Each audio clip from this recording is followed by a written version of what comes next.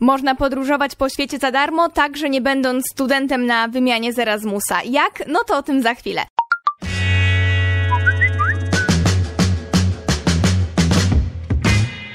Głosowe na Whatsappie. Tutaj Martyna Janas i głosowe na Whatsappie. Dzisiaj zrobię Wam taki krótki wstęp do tego, co ja wycisnęłam z Unii Europejskiej, jak to się stało, że byłam to tu, to tam i, i ile czasu mi się udało popodróżować. No i teraz tak, przede wszystkim to jednak trzeba zaznaczyć, że nie są to darmowe wakacje, bo mm, tak naprawdę, no właśnie, czemu nie są darmowe? Bo na wszystko, na każdy z tych wyjazdów ja sobie jakoś zapracowałam. To nie jest tak, że dostałam się na niego od tak bez niczego. Głównie, jeżeli chodzi o te wyjazdy dłuższe, o takie półroczne, roczne, to, to nie jest tak, że jeżeli ci się nie należy, to na nie pojedziesz. Y, musisz sobie albo zasłużyć, y, czy średnią, odpowiednimi wynikami mm, w trakcie studiów, jeżeli chodzi o Erasmusa studenckiego, ale to też różnie bywa. Naprawdę to nie są bardzo wysokie poziomy, jeżeli mm, chcesz się udać do miejsca, do którego chce się wybrać więcej osób, to wiadomo, że jest ta konkurencja ale są takie miejsca na takich kierunkach, na takie uczelnie, gdzie naprawdę praktycznie każdy może wyjechać. E, kolejna sprawa, nawet te wyjazdy, które są krótkoterminowe i tak naprawdę dostępne dla wszystkich, gdzie rekrutacja polega po prostu na podaniu swoich danych i zostajesz e, wybranym i jedziesz, to te, też nie jest tak, że to są darmowe wakacje, ale tu z kolei z drugiej strony, że rzeczywiście są zupełnie darmowe, jest e, wszystko wszystko opłacane. Unia Europejska zapewnia ci wyżywienie, zakwaterowanie, koszty podróży do kilkuset euro. To są y, wyjazdy, które nie tylko odbywają się w obrębie Unii Europejskiej, ale też y, inne kraje, które biorą udział w programie, czekają na takich jak my, jak ja, jak ty, jak twoje dzieci, jak twoje kuzynostwo, rodzeństwo, jak twoje wnuki. Y, możesz słuchając tego pomyśleć o kimś w wieku, który chciałby się wybrać na taki wyjazd z Unii Europejskiej. No właśnie, w wieku takim e, niekoniecznie, ale do tego też zaraz wrócę, bo no właśnie, jak to ja potrafię dygresję za dygresją i później oddalamy się, mm, szybujemy nie tam, gdzie trzeba, nie zgodnie z tematem założonym. Mówiłam o tym, że te wyjazdy krótkoterminowe, na które stosunkowo łatwo się dostać i właściwie są totalnie darmowe, to że mimo wszystko nie są to wakacje. Czemu? Bo musisz dać coś z siebie. To nie jest tak, że ty tam jedziesz e, leżeć do góry brzuchem, chociaż oczywiście jest na to czas także. Możesz, ja na przykład byłam na projekcie e, kilkudniowym, e, tygodniowym właściwie chyba to jakoś tak mniej więcej było, gdzie rzeczywiście dzień w dzień plaża, dzień w dzień, bo mieliśmy zafundowany hotel naprawdę dobrego standardu, totalnie naprzeciw naprzeciwko plaży. Przechodziło się tylko przez jezdnię, naprawdę po 20 sekundach było się na plaży, więc pomiędzy zajęciami a obiadem, pomiędzy kolacją a podsumowaniem dnia, zawsze się chodziło na tą plażę, ale no właśnie, są też zajęcia, w których trzeba uczestniczyć, Dlatego ważne jest, żeby takie wyjazdy dobierać sobie na podstawie zainteresowań, żeby nie jechać gdzieś e, tak, by czuć się tam potem jak za karę, bo to nie o to chodzi. Jedziemy się rozwijać, przede wszystkim jedziemy poznać innych ludzi, inne kultury. Myślę, że to jest główne założenie tych wszystkich Erasmusowych wyjazdów, żeby nasza wiedza o ludziach z innego, z innych krajów nie była taka teoretyczna, że my sobie mówimy, że tak, tak, wszyscy jesteśmy tacy sami, musimy być tolerancyjni, stereotypy stereotypy są złe, nie mówmy, że e, nie wiem, tam w Rumunii jest e, bida i w ogóle nie ma żadnych perspektyw a Skandynawia to kraina mlekiem i miodem płynąca, tylko faktycznie masz pojęcie, kiedy wchodzisz później w jakąś dyskusję o danych krajach, o tym, jak się gdzieś żyje, jacy są ludzie, to masz jakiekolwiek pojęcie, takie ogólne wyobrażenie, bo poznałeś faktycznie ileś tam, czy ileś naście, czy ileś dziesiąt osób z tych krajów, z iluś nastu krajów, bo to do tego dochodzi. Możesz wyjechać na 3-4-dniowe projekty Erasmusowe i już znasz kilkadziesiąt osób z kilkunastu krajów. Z takich wyjazdów naprawdę powstają przyjaźnie, czasami romanse, czasami jakieś relacje profesjonalne, zawodowe. Można sobie otworzyć wiele różnych drzwi. Dlaczego o tym mówię? Skąd pomysł, żeby nagrać ten odcinek? Bo często, tak, ja teraz wróciłam z Meksyku kilka miesięcy temu, gdzie byłam pół roku i tam byłam w ramach wolontariatu europejskiego, za który zapłaciła Unia Europejska w całości. Unia Europejska za pół roku mojego życia w Meksyku. W Meksyku, o, jak nawet jeszcze źle akcentuję, bo z hiszpańskiego, gdzie mówi się Mexico. Z Meksyku, tak się akcentuje akcentuję po polsku, moja droga Martynko. Wybaczcie mi proszę ten błąd, jeżeli on będzie się powtarzał w tym odcinku. No więc ludzie nie rozumieją, spotykam się z pytaniem, ale jak to, co ty tam, czemu, jak Erasmusa, skoro przecież ty już skończyłaś studia, prawda? No tak, już skończyłam studia parę lat temu, ale to nic nie znaczy, bo Erasmus nie ogranicza się do wyjazdów studenckich. Erasmus to jest bardzo szeroki projekt, który daje nam ogrom możliwości. I ja te wszystkie projekty, kiedyś o nich opowiem, usystematyzuję tę wiedzę, powiem wam jak się nazywają, jaki jest zakres wiekowy dodanego, jaki jest proces rekrutacji i tak dalej, ale teraz chcę do tego zrobić tylko taki wstęp bardziej jakby pobudzający waszą wyobraźnię, czy nie tyle wyobraźnię, ile taką y, chęć, y, zapał, czy taką może pozytywnie napędzającą zazdrość, że o cholera, to tak się da, no to ja też chcę. Może później sobie sami poszukacie, może poczekacie na ten odcinek, gdzie ja będę więcej mówiła o szczegółach, ale teraz po prostu chcę tylko nakreślić, że takie rzeczy są, takie cuda są możliwe. Więc tak, po pierwsze, Erasmus to nie tylko wyjazdy studenckie, w sensie nie tylko chodzi o to, że masz się uczyć, nie tylko wyjeżdżasz na uczelnię zagraniczną, to też różne inne rzeczy. No i tutaj warto zaznaczyć, że właśnie wcale nie trzeba być studentem. Może być tak, że nigdy kiedykolwiek nie, nie byłeś na żadnej uczelni wyższej, uniwersytecie, nigdy nie studiowałeś. Dwa, nie ma znaczenia twój wiek. Znaczy, po poszczególnych projektach tak może mieć znaczenie, ale generalnie w wielkim projekcie szerokim Erasmus możesz brać udział w każdym wieku, w każdym, naprawdę w każdym, w każdym. Nie ma żadnej górnej granicy, że, że już się nie załapiesz na żaden projekt. Są projekty, są wyjazdy, gdzie w każdym wieku możesz w nich uczestniczyć. Punkt trzeci, to o czym już wspomniałam, nie tylko jeździmy po Unii Europejskiej, ale też na przykład do Turcji, do Gruzji, do Armenii. No właśnie, ja byłam w Meksyku. Z tego projektu, w którym ja brałam udział, to e, też byli ludzie w Peru i uwaga, w Ugandzie w Afryce, więc naprawdę tych destynacji jest e, multum. I teraz jeżeli chodzi o pieniądze, to nie wiem, czy był taki projekt, gdzie ja nie poniosłam zupełnie żadnych kosztów. Mam na myśli tutaj ten jedyny koszt, e, który mi się teraz przypomina, ubezpieczenie. Ubezpieczenie to jedyne, za co ja sobie płaciłam, a tak to właśnie wyżywienie, zakwaterowanie, przelot i jeszcze do tego kieszonkowe już e, kiedy tam jesteś, że naprawdę jeżeli nie chcesz przywozić pamiątek, nie chcesz gdzieś tam w czasie wolnym podróżować, nie chcesz sobie drinkować na plaży, to naprawdę da się pojechać i zupełnie nic nie wydać. No tylko za, za kilkadziesiąt złotych e, ubezpieczenie na ten okres wcześniej. Ale na przykład jeśli chodzi o mój długoterminowy wyjazd do Meksyku, to tutaj też ubezpieczenie miałam e, zapewnione, więc tak naprawdę na upartego jakby się chciało, to można by zupełnie nic nie wydać, nie mieć żadnych oszczędności, a to ubezpieczenie było w ogóle prześwietne, też o tym kiedyś opowiem. To ubezpieczenie, które mi zwróciło 400 tysięcy pesos za tygodniowy pobyt y, w bardzo dobrym, prywatnym, luksusowym, jednym z najlepszych szpitali w Meksyku. No i od początku, widzicie, minęło już milion minut, a ja dopiero właściwie powiem to, o czym miałam zamiar powiedzieć, czyli po kolei, co ja sobie, z jakich ja wyjazdów unijnych skorzystałam. Więc tak, mój pierwszy wyjazd to był wyjazd y, Erasmusowy studencki. Podczas studiów, kiedy studiowałam, byłam studentem i pojechałam na tego typowego Erasmusa, z którym większości z Was pewnie się kojarzy w ogóle projekt Erasmus, program Erasmus. Spędziłam semestr na innej uczelni, studiowałam na Universidad de Cádiz e, w Kadyksie w Andaluzji w Hiszpanii. I to jest ten rodzaj e, wyjazdu, kiedy otrzymujesz wsparcie, otrzymujesz stypendium, które z założenia ma pokryć różnicę między kosztami życia w Twoim kraju, a tym kraju, do którego jedziesz.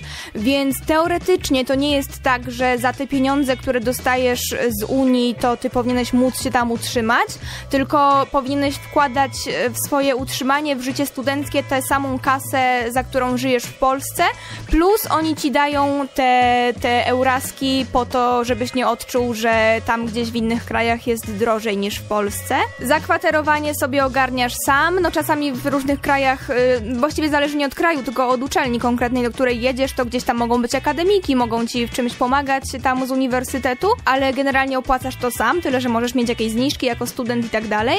No i utrzymujesz się sam, żywisz się i jeździsz sobie na wycieczki i po prostu masz jedynie to stypendium, ubezpieczenie sobie płacisz sam i tak dalej. Ale oczywiście masz szereg przywilejów, bo masz wszystkie papiery studenckie, jesteś pod tą ochroną, jeżeli coś się dzieje, to masz y, ekipę w tym państwie, w którym jesteś, która za ciebie odpowiada i cię wspiera, zawsze masz kontakt też z przedstawicielami władz uczelni i z koordynatorami na swojej uczelni macierzystej w Polsce, więc to jest zupełnie co innego niż jakby pomyśleć sobie, a chcę studiować nagle gdzieś tam na zagranicznej uczelni, no i teraz weź się tam człowieku dostań, a tak to możesz spróbować o wiele łatwiej jako Erasmus, a, a później już wiesz z czym to się je, jak się żyje w tym konkretnym mieście i tak dalej i znam wiele osób, które tak właśnie wybrało się na Erasmusa, a później zostało czy w tym kraju, czy nawet w konkretnym mieście.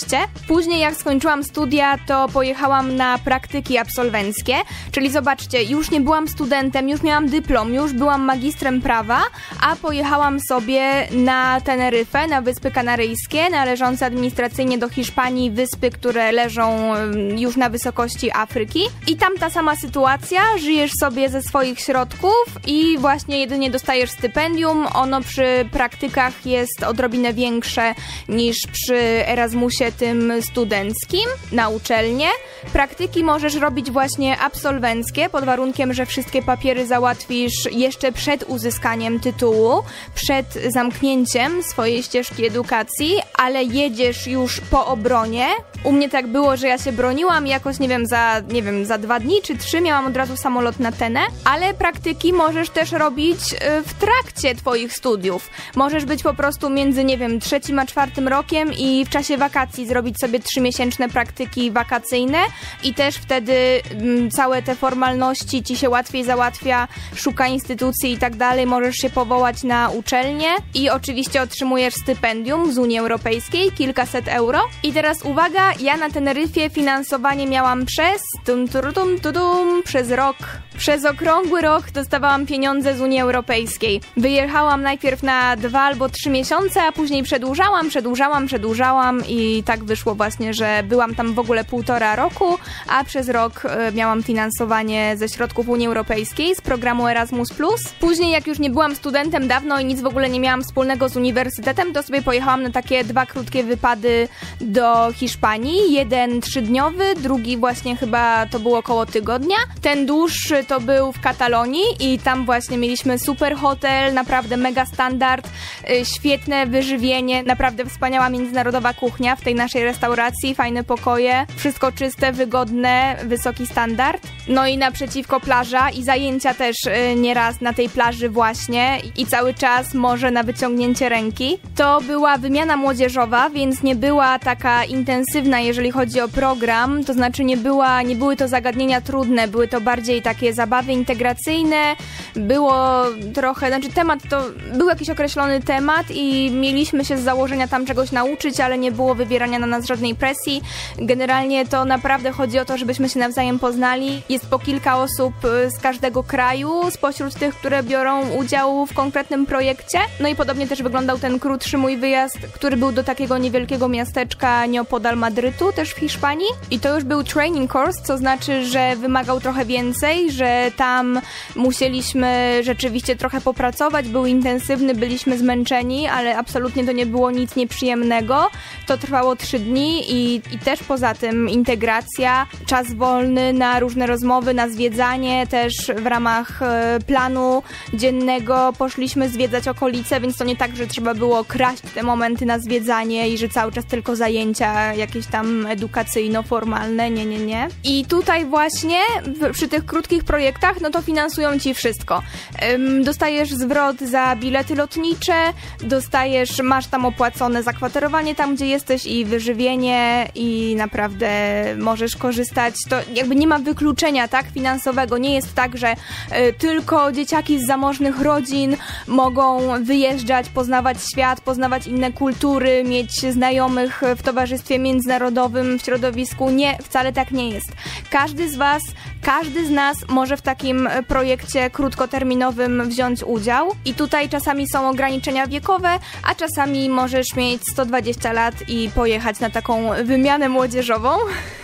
I ostatni mój projekt, najnowszy, najświeższy, ten z którego dopiero co wróciłam w ramach programu Erasmus, y, który był finansowany z funduszy Unii Europejskiej, to właśnie półroczny, dokładnie pięciomiesięczny, ale że mi się tam wydarzyło po drodze hospitalizacja i później niemożność chodzenia, ruszania się, a już tym bardziej lotu i podróży 30-godzinnej, więc rzeczywiście trochę mi się wydłużyło, no i mogę te pół roku liczyć, że tam posiedziałam, ale finansowanie w każdym razie 5 miesięcy za moje zakwaterowanie nie płaciłam, wyżywienie miałam zapewnione, dostawałam dodatkowo jeszcze kieszonkowe, no i lot w tej i też opłaciła Unia Europejska, a to są miliony monet, jak możecie się domyślić, żeby polecieć do Ameryki. No i właśnie co ważne to to, że nawet kiedy nie mogłam wrócić moim lotem już kupionym, zaplanowanym, który już czekał na mnie od pięciu miesięcy, jako że byłam e, połamana, to, to go nie wykorzystałam, to organizacja, która mnie, organizacja wysyłająca, która mnie tutaj z Polski tam wysłała, która właśnie realizowała ten projekt w ramach programu Erasmus+, no to wszystko tak przygotowała, że zostało to przełożone. Naprawdę miałyśmy świetną koordynatorkę z Leszna, więc wróciłam też nie za swoje, tylko za pieniądze z Unii Europejskiej. Co ja zawsze mówię, że to i tak są nasze pieniądze, tak? Że my pracując w Unii Europejskiej, płacąc tutaj podatki w różnych krajach, czy w kraju swoim ojczystym, czy w innym kraju, kiedy pracujemy za granicą, no to ten budżet Unii Europejskiej zasilamy też my faktycznie, kropla do kropli i później o ziarnko do ziarnka i taka się zbierze miarka, że potem można tego używać, więc naprawdę szkoda z tego nie korzystać, bo najprawdopodobniej ty czy twoja rodzina rzeczywiście składacie się na ten budżet Unii Europejskiej i świetnie by było móc e, z tych profitów skorzystać i z tej organizacji i te wyjazdy uskuteczniać. I właśnie to, co jest bardzo, bardzo, bardzo ważne w przypadku tego mojego wyjazdu do Meksyku, jeżeli chodzi o stronę finansową, no to właśnie też zapewnienie przez środki unijne ubezpieczenia. Ubezpieczyciel Signa, po prostu złoto, jedyny ubezpieczyciel ever, którego ja polecam i który jest tak wspaniały, który oddał mi 90 tysięcy złotych, a właściwie wyłożył, założył, no tam różnie. Część e, założył, część oddał z tego, co ja zapłaciłam, później oddawał jeszcze za kolejne leki, które kupowałam już nawet będąc w Polsce, ale których konieczność kupowania wynikała z tego wypadku, którego doświadczyłam jeszcze w Meksyku w ramach projektu, więc naprawdę z Unią Europejską jest o wiele bezpieczniej. Nie ma tak, że plecak na plecy i ahoj przygodo i jak coś się wydarzy, no to się budzisz z ręką w nocniku, tylko to jest bardzo silnie ustrukturyzowane, jest wiele różnych y, odnóg formalnych, y, struktur w samej Unii, komisja, która się tym zajmuje, koordynatorzy, później koordynatorzy w krajach y, uczestniczących, które rozpisują projekty, potem ci, którzy uczestniczą w projektach rozpisanych przez inne kraje, ma się tobą kto zająć, zawsze masz się do kogo zwrócić, więc nawet w najdzikszym z twojego punktu widzenia, najdzikszym tylko dlatego, że po prostu jeszcze nieznanym dla ciebie miejscu, możesz się czuć e, bezpiecznie, wiesz, że ktoś się tobą zawsze zajmie, nawet z drugiego końca świata. No i tak i tyle. I to w sumie tyle, co, co chcę powiedzieć, że właśnie pojeździłam sobie, dostałam się też na raz na projekt w Turcji, ale jednocześnie właśnie miałam tą Hiszpanię, do której wolałam pojechać, więc zrezygnowałam. Ostatnio też się dostałam na projekt w Rydze, ale jednak e, nie udało mi się, kolidowało mi to z moimi tutaj zdrowotnymi i zawodowymi rzeczami, więc jednak nie pojechałam, ale znam ludzi, którzy w czasie studiów no to jeździli co chwilę gdzieś tam na jakieś takie weekendówki i tak samo jak masz jakiś gapier, to jakby to wcale nie musi być jakaś mm, wielka decyzja i przygoda, że teraz ja tutaj na pół roku wyjeżdżam do Ameryki Południowej. Tylko uczniowie szkół, studenci, nie studenci, absolwenci, lekarze, prawnicy, tłumacze, księgarze, ktokolwiek, naprawdę wszyscy mogą sobie co jakiś czas taki wyjazd kilkudniowy zrobić. Dlaczego jako pierwsze, pierwszy wyraz, właśnie pierwsza grupa zawodowa, tutaj mi pojawili się lekarze? Bo właśnie pamiętam, jaka byłam zdziwiona, jak na jednym z tych e, wyjazdów do Hiszpanii poznałam Gruzinkę, która była 30-paroletnią lekarką i jakby wiecie, to nie pasowało. Ja ciągle miałam jeszcze takie przeświadczenie, wyobrażenie o tym, że to dzieciaki, że studenci sobie jeżdżą, uhu, hu, zabawa, tutaj weekend za granicą, a to była jakby tak no dorosła, poważna kobieta, tak, z mega odpowiedzialnym zawodem, niosącym bardzo dużą odpowiedzialność ze sobą. I ta dziewczyna bardzo mądra, bardzo mądra, bodajże chirurżka, która się okazywało, że tyle wie o biologii i o chemii, ona po prostu lubiła to, lubiła kontakt y, z różnymi kulturami, lubiła spotykać ludzi, lubiła się rozwijać e, właśnie biorąc udział w różnych projektach o interesującej tematyce i ona, kiedy brała urlop u siebie w klinice, no to nie po to, żeby sobie pojechać na, z własnej kieszeni na własne, w sensie, że organizując to samej gdzieś tam na jakieś słoneczne wyspy, tylko ona brała właśnie udział, bierze udział w projektach z programu Erasmus+. Więc jak najbardziej polecam Wam zapoznać się z tematem, no i do usłyszenia niebawem w głosowych na Whatsappie. Pamiętajcie, że możecie odnaleźć fanpage podcastu na Facebooku, tak właśnie głosowe na Whatsappie, tam się pewnie wyświetli moja twarz na miniaturce i zawsze możecie napisać, y, pytać mnie o wszelkie szczegóły, a ja Wam tam później odklikam. Bardzo dziękuję za uwagę, na razie!